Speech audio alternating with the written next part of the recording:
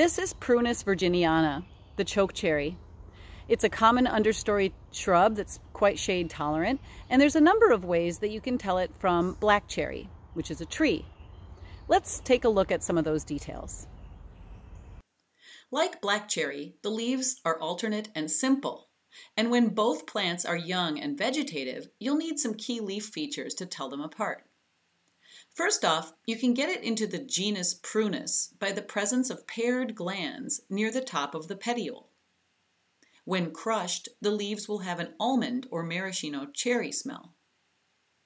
Chokecherry leaves are more elliptical, being only about twice as long as they are broad, compared to black cherry's narrower leaves. Also, you won't see rust-colored hairs on the mid-vein of the underside in a chokecherry leaf, unlike black cherry. The teeth of chokecherry are sawtoothed, sharply pointing outward.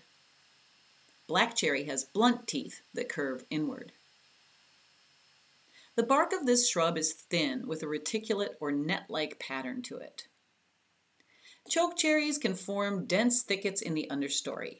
It has pretty, elongate clusters of white flowers in spring and red fruits maturing to black in the fall.